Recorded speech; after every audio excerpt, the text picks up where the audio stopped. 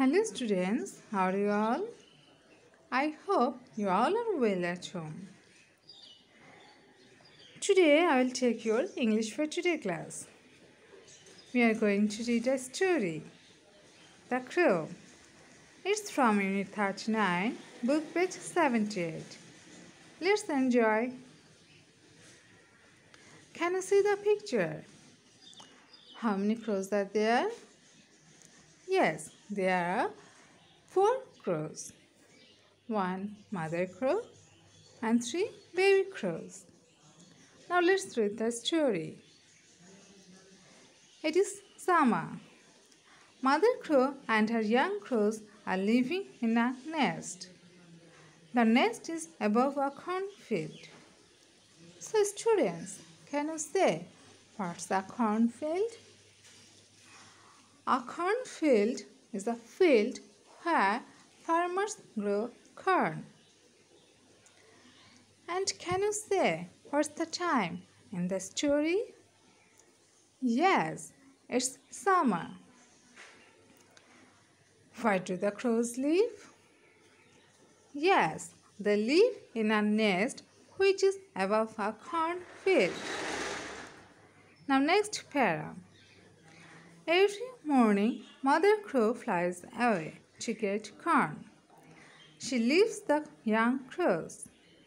So, why does Mother Crow fly away every morning? Yes, to get corn. One morning, the farmer comes to check his corn. He does not see the nest. Mother Crow is not in the nest. But the young crows see the farmer. They are afraid. So, who comes to check his corn? Yes, the farmer. And who are afraid? Yes, the baby crows are afraid. In the afternoon, Mother Crow comes back. The young crows say, Is it time to leave the nest, Mother? Mother Crow says, No, it's not the time yet. The next morning, the young crows see the farmer again. There's another man with him. The man sees the nest. Mother Crow comes back. The young crows say to their mother, Is it time to leave now? Mother Crow says, No, it's not time yet.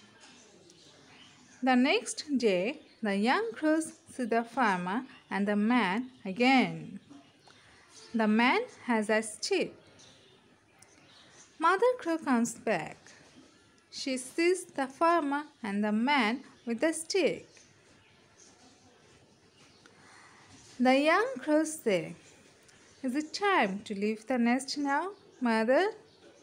Yes, Mother Crow says, Now it's time.